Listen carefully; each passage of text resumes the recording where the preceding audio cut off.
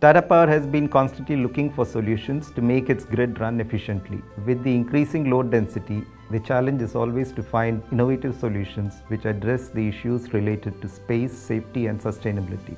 To overcome these constraints, Tata Power has collaborated with Schneider Electric to design and commission the first natural ester filled transformers and also introduce the e-house concept.